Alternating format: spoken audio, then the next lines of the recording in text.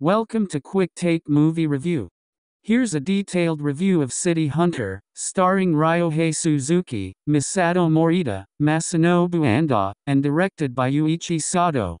City Hunter follows a private eye who joins forces with his deceased partner's sister to unravel the mystery behind his untimely demise.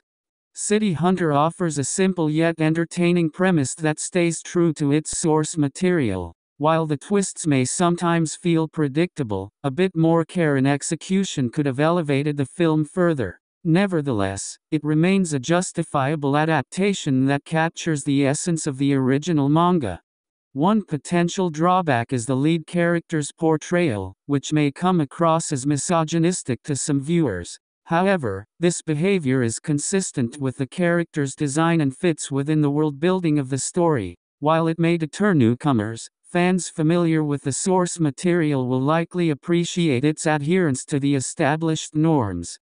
The cast delivers commendable performances, with Ryohei Suzuki particularly shining in his portrayal of Ryo Saeba.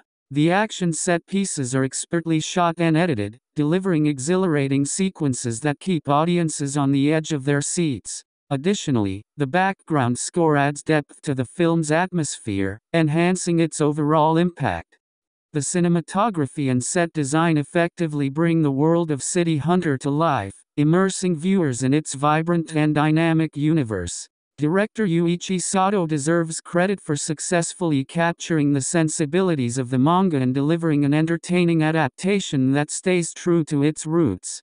Overall, City Hunter is a satisfying adaptation of the beloved manga series. While fans of the source material are likely to enjoy it, those unfamiliar with the franchise may struggle with the main character's misogynistic behavior. Nonetheless, for enthusiasts of action packed manga adaptations, this film offers an engaging and enjoyable experience.